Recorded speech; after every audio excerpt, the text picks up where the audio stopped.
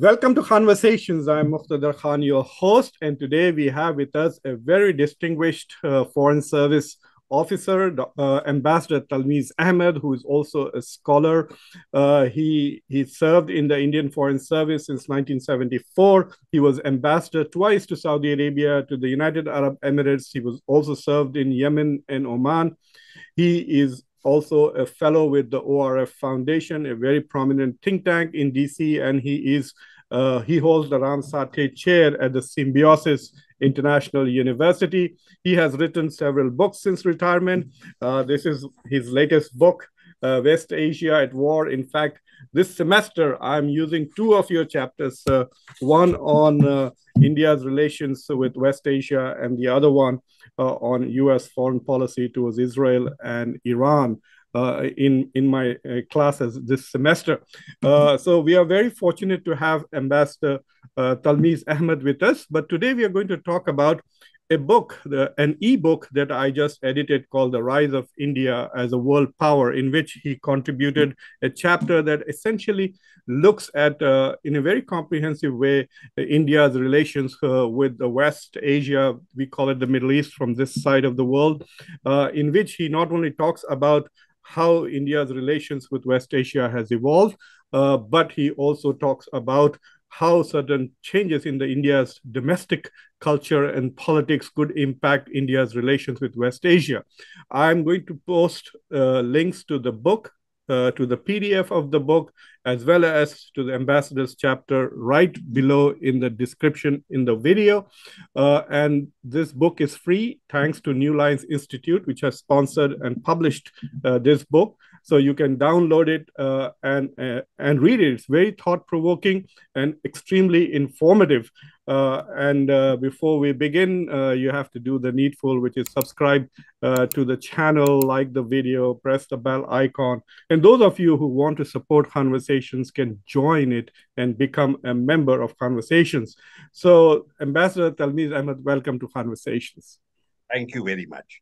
Sir, I want to thank you for your incredible service. Uh, you were serving in the Middle East during extremely post 9 11 and during the era of the so called global war on terror.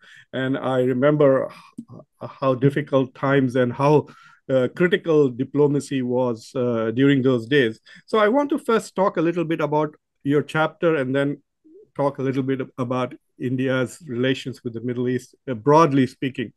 In your chapter, you basically make the point that India at the moment is having uh, very positive relations with countries in West Asia, especially United Arab Emirates and Saudi Arabia, and perhaps even Egypt to some extent. But you also hint that these relations are mostly transactional. Even though that there are such old civilizational and cultural ties in this religion, the, the relationship seems to be based more on transactions. What can you do for me? What can i do for you? Uh, so if you can uh, briefly sum up for us like where do you see india's relations with uh, west asia at the moment especially uh, given the rising tensions between india and china and uh, also the domestic politics in india?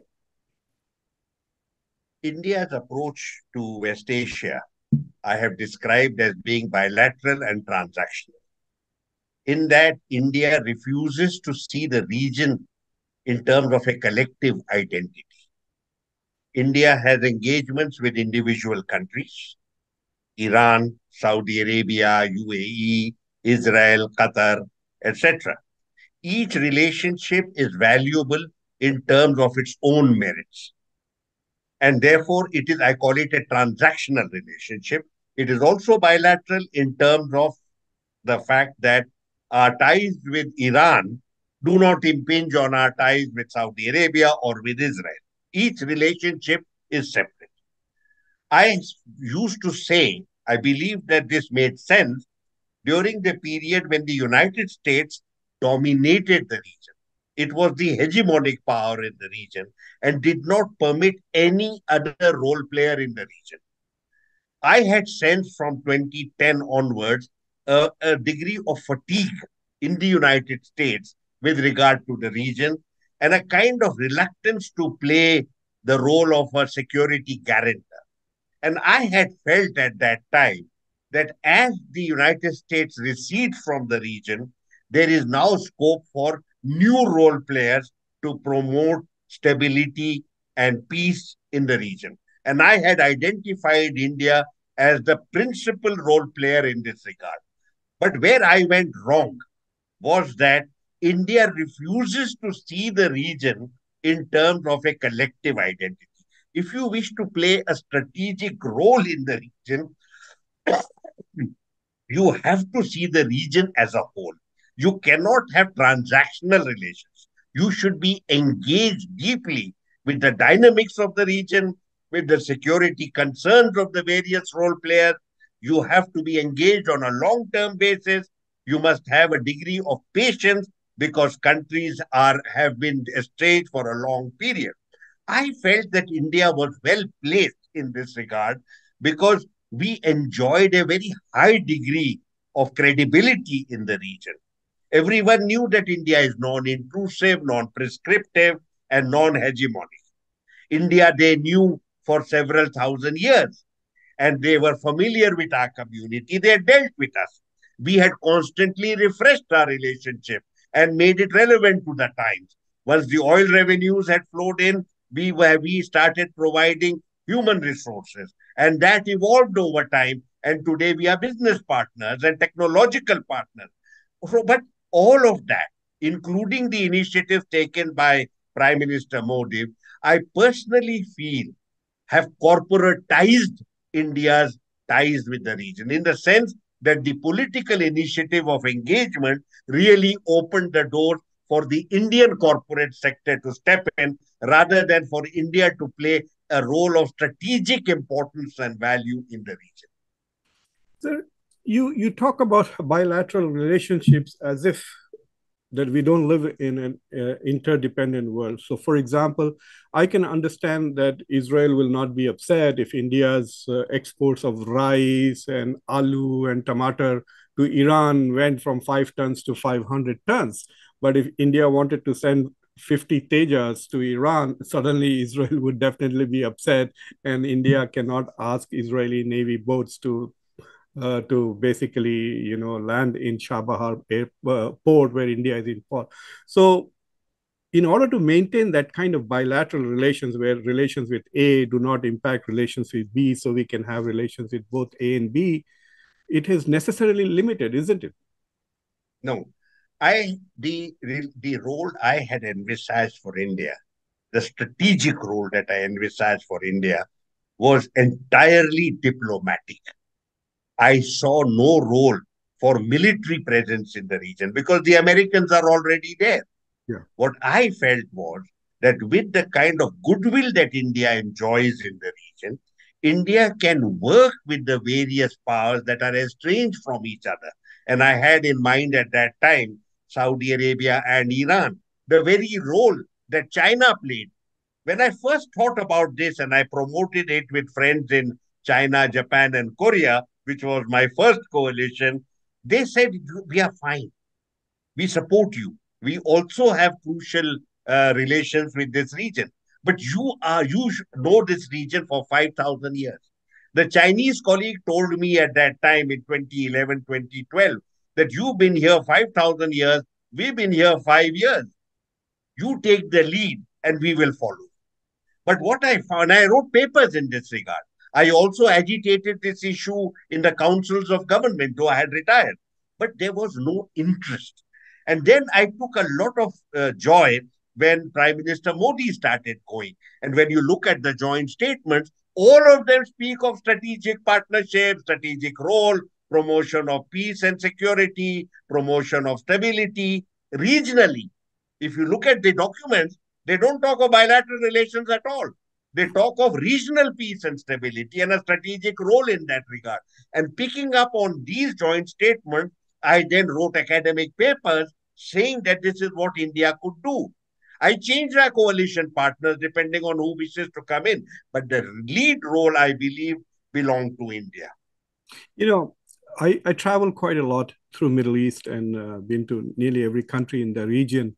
And uh, what was interesting was that while the fact that I'm an American open every door that I wanted to open. So uh, if I call uh, the Egyptian Council on World Affairs in Cairo and say I want to give a talk, no problem. They would immediately arrange it for me. So being an American gave me a lot of influence and access to universities and everything. But I noticed something else that even though I got access, there was always suspicion about Americans. But the moment they would find that I'm from India, they would immediately start respecting me. So I was Absolutely. having so I was having the best of both the worlds. As an American, I got access. As an Indian, uh, and in Asal Fil Hind, and they would be like, "Oh, so thrilled! Yeah. That, oh my God!" And I noticed that there was a lot of soft power. You know, cab drivers in Egypt would harass me with Sholay's dialogues. I mean, can you imagine taking a cab anywhere in the Middle East and everybody is spouting uh, Bollywood dialogues or even trying to Absolutely. sing songs to you? Absolutely. But lately, given the the changing uh, approach that India has towards Israel, for example, with now with uh, I2U2, we see strategic partnerships. Uh, uh is it India? Is India in the danger of losing the soft power that it enjoys among the population of the Middle East uh, or West Asia, while continuing to have strategic relations with the with the rulers of West Asia, given the fact that there are absolutely no democracies, and so so the rulers can often act uh, independent of the public opinion in their country to some extent. Affinity with India affection with India and a sense of knowledge of India is very deeply ingrained in the Iranian, Arab, and Israeli psyche. It is not going to be damaged by one or two episodes or something uh, changing. I don't think that there is any concern. For example, we opened relations with Israel in 1991. And from that day till today, I have never heard a single official or individual complaining to me about this relationship. Never. Because they recognize the fact that India's relations with the Arab world are very, very deep. Diplomacy is different. Uh, in fact, there was, uh, uh, at that time, Mr. Yasser Arafat told our prime minister that it is good for us that you have opened this relationship because you can carry our cause, the message relating to our cause, right into the heart of the Israeli establishment. Whether we did or not is another matter. The fact is that India is very highly cherished and very deeply admired at the popular level. And of course, because of the economic potential, even the leaderships and the business communities are reaching out to India. Where India seems to have drawn the line is that it does not wish to play a strategic role in the region. We seem to have abdicated that space to China. But look at even uh, this I2U. I2U2, I, I have never been a great admirer of this. I have argued that just because you have a catchy abbreviation, it doesn't mean you have an alignment. The joint statements of the I2U2 only refer to the opening the doors to the corporate sector it affirms to me that India's approach, diplomatic approach to West Asia, is for the government to facilitate economic exchanges so that the corporate sector in India can benefit from this. And this is what has happened. Today, you have read that Larsen and Toubro has got a $4 billion contract. You have seen various other companies getting in. You have also seen various companies from the region trying to come into India. So this is where we are. What I would say to you, and it's a matter of deep personal regret, that the kind of role we should have played and were well equipped to play, that role we have never seen, we've never taken seriously, and certainly we are not doing anything about it. So if you look at India, say in the 1990s, etc., India was not in that kind of a position of strength that India is today as the fifth biggest, soon to be the third biggest economy, a major uh, military procurement uh, uh, source. Uh, we, we have a huge military in India now. So India is definitely a powerful player, but but it appears that you're trying to say that while India is focused on geo-economics in the Middle East, uh, in West Asia, it is not interested in geopolitics, and that's why it's countries like uh, Iran, uh, China are able to negotiate uh, some kind of uh, peace uh, between Iran and Saudi Arabia. And You're absolutely right. You see, China from the beginning has taken a regional approach to its diplomacy. Uh, you will recall here the Belt and Road Initiative. Yes. It is a regional enterprise. It has a regional vision and it keeps on expanding. When Xi Jinping came to the region in 2016, he set up a China Arab dialogue. When Xi Jinping came again uh, in December 2022 to Riyadh, he looked at the region as a whole. He engaged with Saudi Arabia bilaterally, he engaged with the leaders of the GCC, and he engaged with the leaders of the Arab League. No Indian leader has ever addressed a conclave of the GCC or of the Arab League because we don't look at the region collectively and we do not envisage for ourselves a role that would be of a strategic character. This is the difference between India and China. Therefore, China, which is a very recent arrival in the region and has far less of an appeal as far as soft power is concerned, has positioned itself as a player, as a player in the strategic context of this. Yes, so, you know, I remember the, the December, I did a conversation on uh, Xi Jinping's visit to Saudi Arabia. Uh, you know, on one day he met all the Arab leaders, then he met GCC separately, and then he had yes. a, bilateral meeting with uh, the. I, I don't know whether you saw Prime Minister Modi's speech uh, in Bali last year at G20. It was a, a, reasonably good speech, and I was quite impressed with the speech. But it was very interesting to see when he talked about cultural similarities he spoke for about an hour to to the public of Bali. I'm not talking about his uh, G20 speech. I'm talking about his outreach to that, and it was amazing. He he was talking to a country which is the biggest Muslim country in population. Uh, there is so much of commonality of Islam between uh, India and Indonesia, and the Indian Islam and Indonesian Islam is infused by Indian values he had nothing to say about Islam in Indonesia or the fact that we we are the only three we are two of the three countries with 200 million Muslims.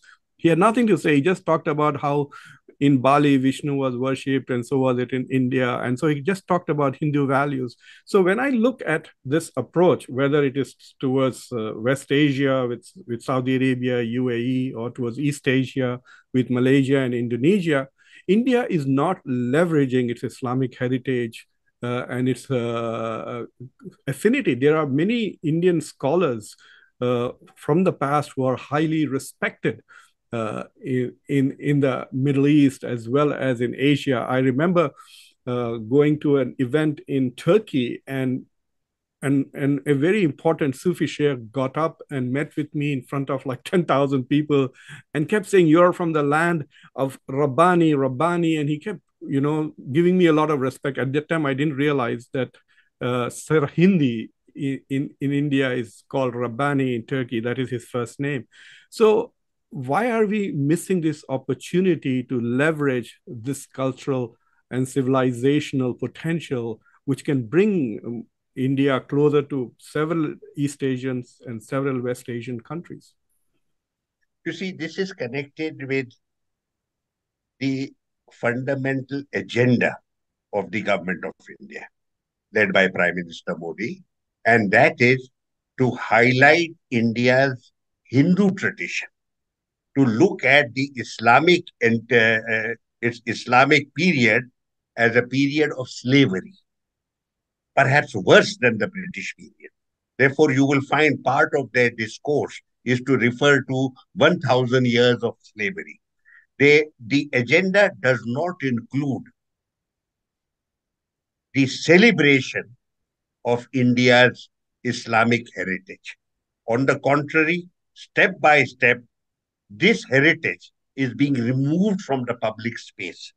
Names are being changed of various institutions, of various railway stations, uh, various cities, various. So you find that the, you have to, to get the answer to your question, you have to see the motivation behind the government, the, the, the engine behind the government, and that is intensely ideological, it is intensely communal.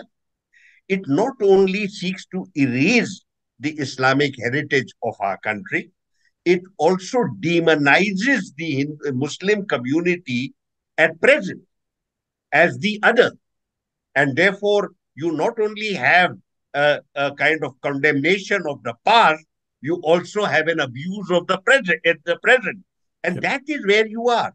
When the Prime Minister spoke in Southeast Asia, he is referring entirely to the contrib- to the Hindu contribution, the contribution of the Hindu culture to that region, even in Indonesia. In fact, many Indians are very proud of the fact that many names in Indonesia of Muslims come from Sanskrit originally yeah. or from other Indian languages. And of course, it is obviously uh, the case in the case uh, in uh, in say Thailand, where again you have this. It's a celebration of a much earlier heritage, the Hindu heritage, and the agenda is overwhelmingly domestic. The Prime Minister, when he went to the UAE, actually visited a mosque, the Sheikh Zayed Mosque, and was photographed there. He has never visited a mosque in India, has never embraced an Indian in India, uh, an, an Indian Muslim in India. So let us be very clear here. And I have made this point in my article uh, very clearly that we have to note this fact. The government is not camouflaging it, it's not hiding it. It's a very overt presence and presentation, there is a systematic erasure of the Muslim heritage of our country and a systematic abuse of the Muslims and demonization of Muslims as the other, and so that your identity, I find this very ironical, that with all the cultural strength and with all the heritage, religious and political and cultural that we have from our Hindu heritage, the present day communalists find it possible to define themselves only in terms of abusing the Muslim. I find that strange. I also pointed out to somebody recently that people like me who are Muslim have never felt the need to abuse somebody else, to define ourselves. So, what is missing here, I ask? Is it a sense of self absence of self confidence? That why no Muslim has threatened. You will never find a Muslim abusing someone else's faith, someone else's heritage. In fact, it's very deep in our DNA, very deep in our psyche that we are an integral part of a very long heritage that predates, that predates the arrival of Muslims. And indeed, as you know well, overwhelmingly, possibly 80 or 90% of present day Muslims were actually converted to Islam only in the last 200 and odd years. We are hmm. not of foreign origin. Our faith is also not of foreign origin in the sense that every mohalla in India, every neighborhood in India has a pir, has a local saint, venerated by everybody, entire community.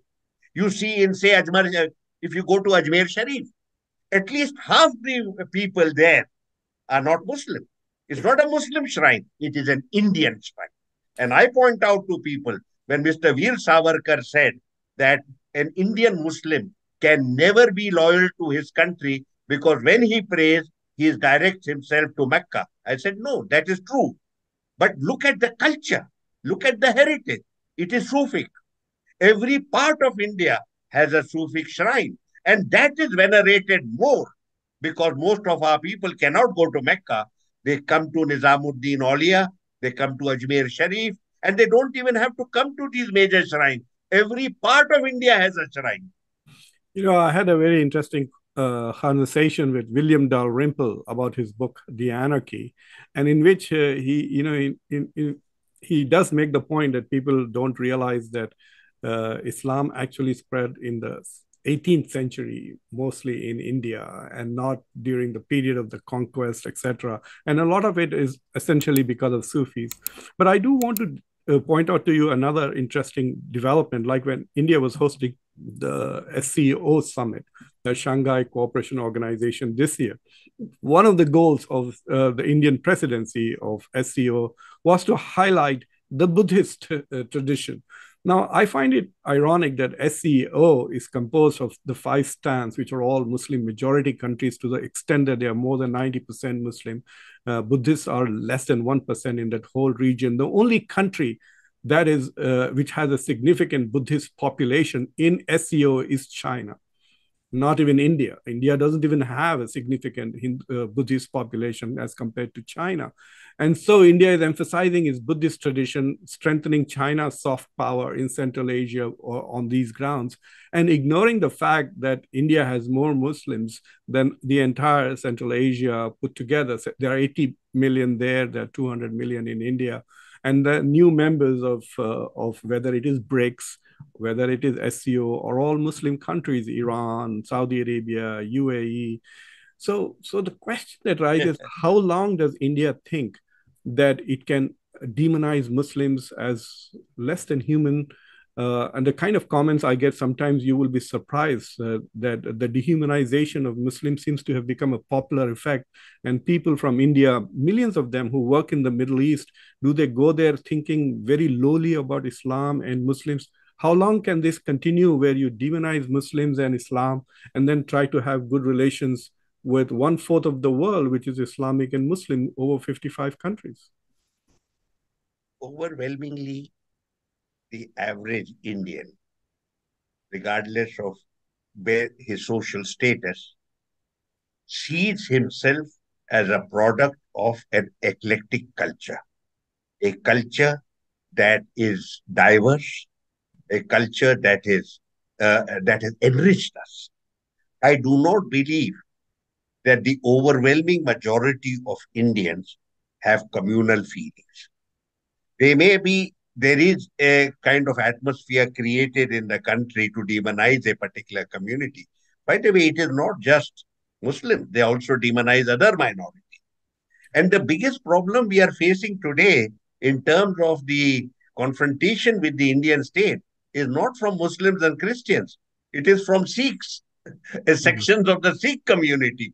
Yeah. And then if you look at uh, certain other issues which are of very serious concern to us, say Manipur, Muslims are not involved with the Manipur issue. So you will see that demonizing a particular community does not solve any of your problems.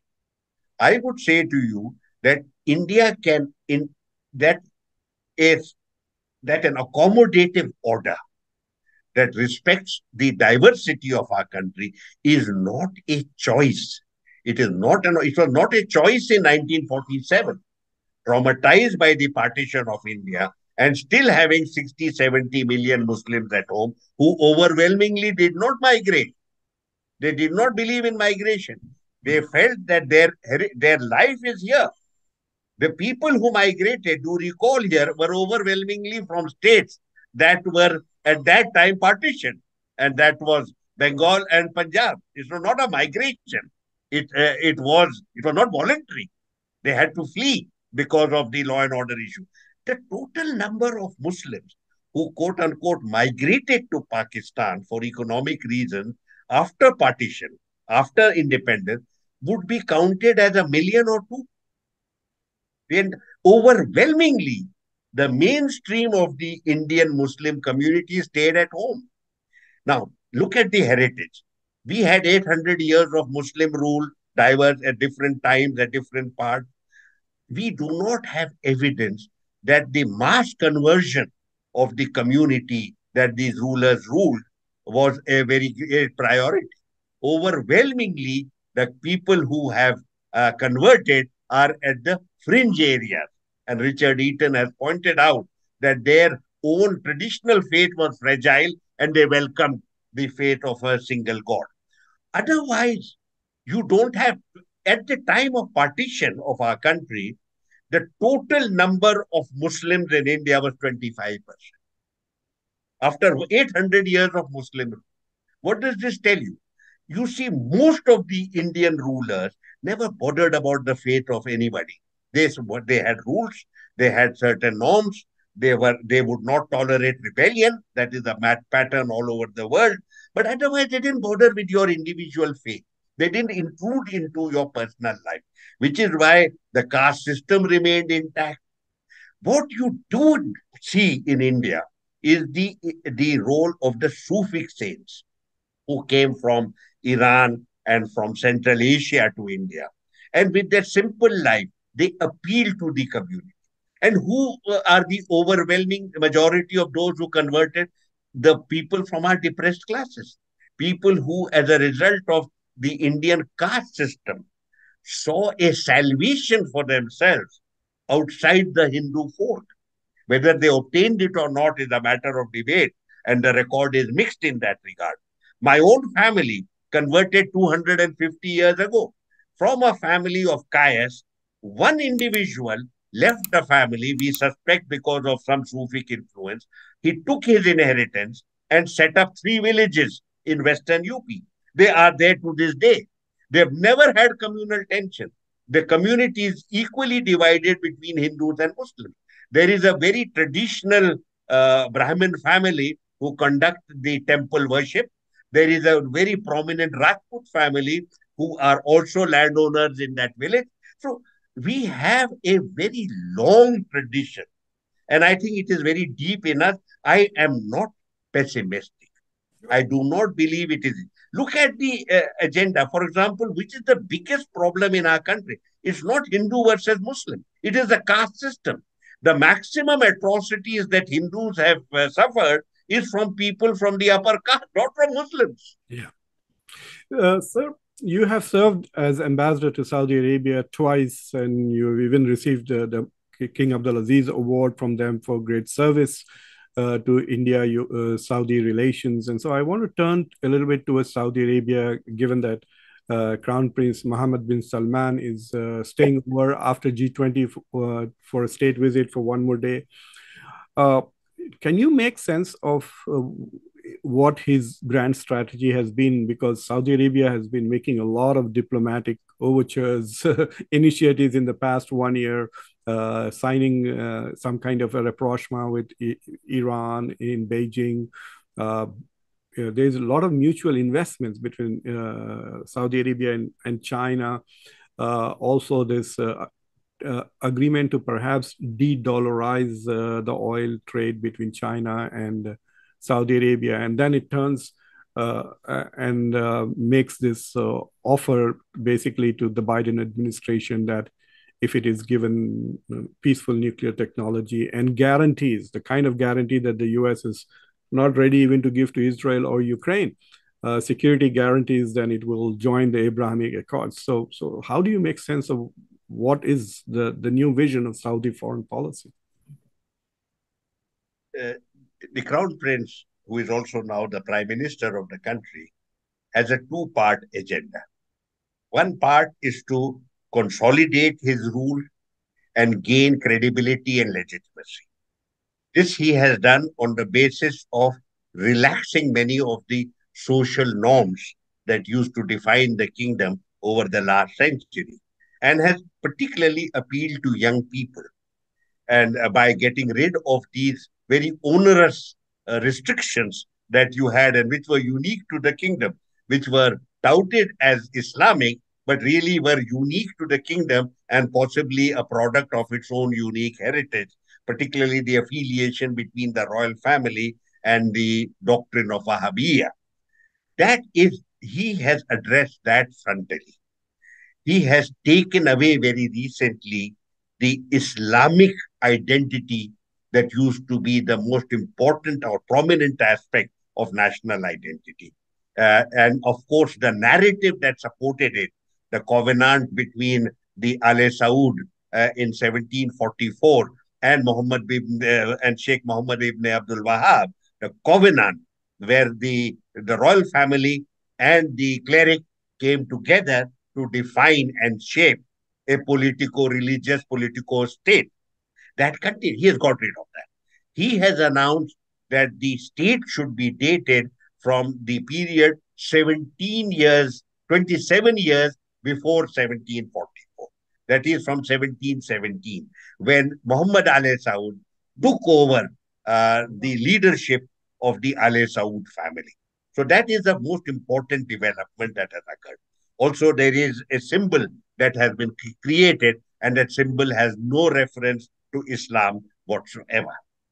The second part, now whether he is successful in this or not, we will know over time. But my own impression is that certainly young people suddenly feel a sense of freedom. His message to them is a very exciting message. Don't look for employment. Become my partner in this great enterprise uh, of our nation, where we will be a technological hub, we will be a logistical hub, we will be a trading hub for all the region, and for and we will be major role players in world affairs. In foreign policy from 2020, he has shrugged off the American yoke, and you find now he is asserting strategic autonomy. In strategic, in terms of strategic autonomy, he believes that he would that that is a very significant development in that the US, which used to dominate and control every aspect of Saudi foreign policy and security policy, is now no longer the principal player. Saudi Arabia, I would call it a coming of age. Saudi Arabia has built very substantial ties with Russia and with China and with other Eastern countries like India. So it has now become a, major, a role player, but its role is defined by its adherence to strategic autonomy in a multipolar order.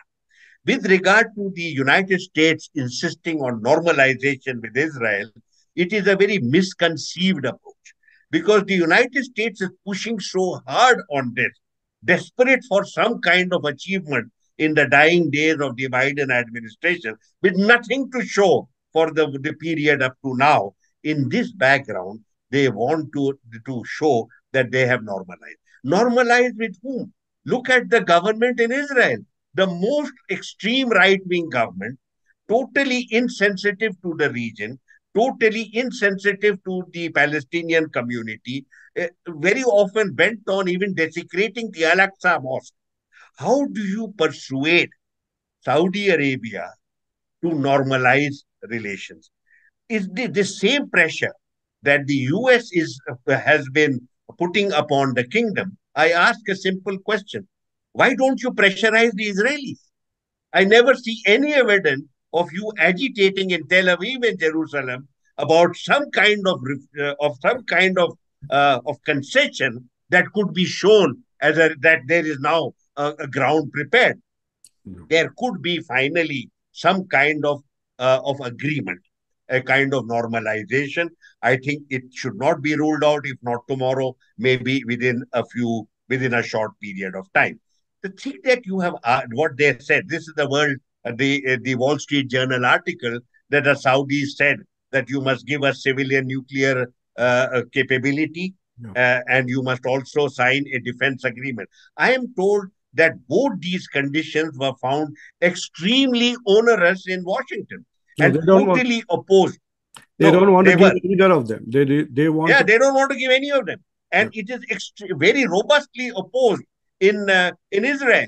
So where are we going? What are we talking about? So much noise, sound and fury signifying nothing. I, I have a feeling that perhaps it's a very smart diplomatic uh, gambit by uh, the crown prince by saying, "Look, give me something, and this is what I want." And uh, uh, I hope he doesn't back off on something silly like you know, okay, we will open a university in Riyadh or something like that instead of those first two. But uh, if if he can get those two things that he's asking for, especially uh, on um, on the issue of uh, nuclear technology, civilian, as well as uh, uh, security guarantees, then it is, I think, a, a good deal for Saudi Arabia. Uh, sir, um, th this is my last question to you. No, if I may comment sure, sure, very sure. quickly. No guarantee from the United States has any value or validity because, because you have you keep on changing you have elections every two years and you have a presidential election every four years the new president's full-time job in his first year or possibly second year is to ensure that he overturns the legacy of his predecessor. You have no continuity. I, I would be very shocked if anybody in Riyadh believes that Biden, a lame duck president with nothing to show in his presidency, now in the dying days of his presidency, can guarantee anything. What no. are we talking about? That's nonsense. No. No. So I don't believe that has got any value or validity. You cannot get, and then you talk of security guarantee. Which security guarantee is the United States going to give? You had an attack on Saudi Arabia's oil facilities, and half their oil production was stopped for a week. What did Donald Trump do? He said, Oops, sorry, I can't do much about it. Packed his bags and ran. Look at what they did in Vietnam what they did in Iraq, what they did in Afghanistan. They pack their bags and run as fast as they can and, and when there is a real uh, crisis. And even after pushing Ukraine to continue with this war, we we, we are already hearing voices in the U.S. Uh, suggesting that Ukraine should now back off. Uh, I agree with you. I mean, I hope they they learned from Vietnam and Iraq and Afghanistan. Don't put your soldiers' feet on the ground. Let I'm... the other guy fight your interest. And that is what they are doing in Ukraine. I feel very sorry for Ukraine, by the way. They are taking a hammering. Yeah. They are fighting a country several times their size with a very, very substantial military force, second or third in the world. And this tiny country is paying the price for the expansion of NATO. Is this what the whole world is about?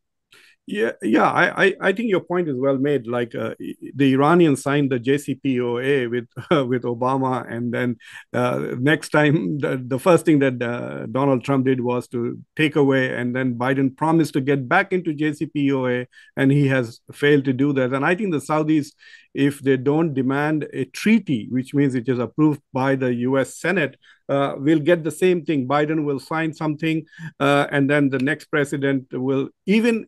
I won't be surprised if the next president is a Democrat who might renege on an agreement to Saudi Arabia on security. What is a treaty worth?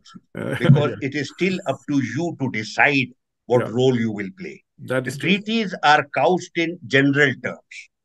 The assessment of the role you will play in a particular situation uh, uh, is decided by the countries concerned. You don't have a scenario like the First World War, where due to treaty obligations, uh, a kind of minor skirmish in one corner of Europe led to a world war uh, for all those years. That kind of scenario, I don't see. The Americans decide to use their military force when it suits their interests. Obviously. Not obviously. Saudi Arabia's interest. Obviously. And they use it overwhelming force against a against an enemy that cannot fight back.